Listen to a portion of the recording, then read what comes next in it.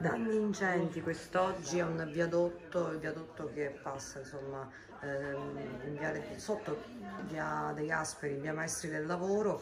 e una situazione insomma sono già lavori tecnici del comune. Sì, questa mattina intorno alle 9, 9 e mezza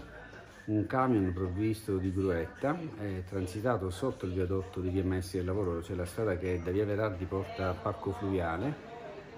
risalendo dal parco fluviale verso via Maestri Lavoro, non chiedo scusa, e ha toccato con la gruetta le strutture in cemento armato di questo viadotto. Due travi sono state particolarmente segnate dall'impatto e sono intervenuti i vigili del fuoco, ai quali ringraziamo ovviamente,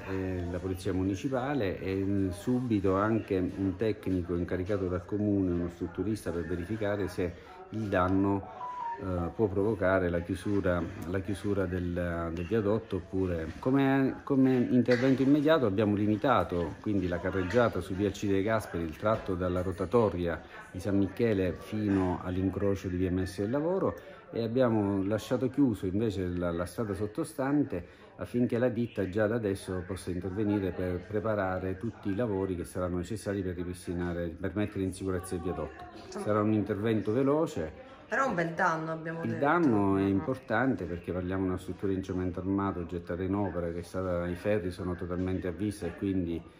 eh, il, ci sarà da intervenire in un modo chirurgico e nello stesso tempo saranno delle verifiche proprio dei calcoli matematici per verificare che tipo di intervento bisogna fare per ristabilire la sicurezza, la viabilità. È la prima volta che accade. Capitano anche di frequente queste cose, forse a terra non era mai capitato, eh, c'è sempre una prima volta.